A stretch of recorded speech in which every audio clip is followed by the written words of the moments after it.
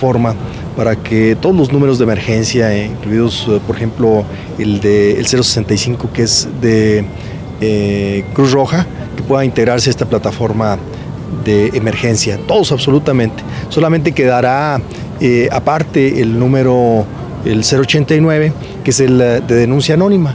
El resto, todos el resto de los números estarán en una misma plataforma que permitirá pues, ser más fácil para los ciudadanos poder comunicarse para el caso de una emergencia. ¿Ya está todo el personal que requieren?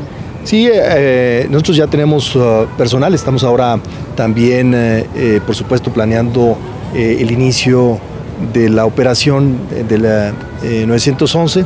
Ya ahora si nosotros realizamos la marcación nos contestarán el 066 ya estamos nosotros probando nuestra plataforma. Sin embargo, bueno, otras adiciones que tenemos aparte son eh, eh, la georreferenciación de la llamada. En el caso del 911 eh, estará una plataforma en la cual nos podrá referenciar de dónde nos están haciendo la llamada, precisamente a través de los servicios de georreferenciación que tenemos y eh, estaremos eh, pues obviamente atendiendo con mayor eficiencia la llamada de emergencia, pero también aquellos que hagan llamadas eh, en broma, pues obviamente los podamos localizar con mayor puntualidad y por supuesto hacer que ellos ah, puedan, ya, ya, que es un delito, pues podamos ponerlos a disposición del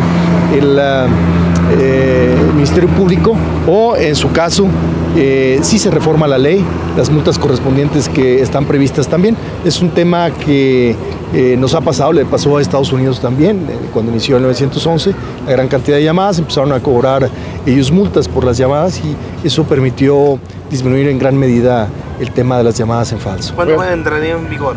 estarán iniciando ya el tema de la publicidad para este fin de mes, a principios de julio y eh, se prevé que en septiembre, a más tardar eh, a principios de octubre, podamos, ya tener eh, en estos 10 estados de la República este nuevo número. Secretario, el tema del C5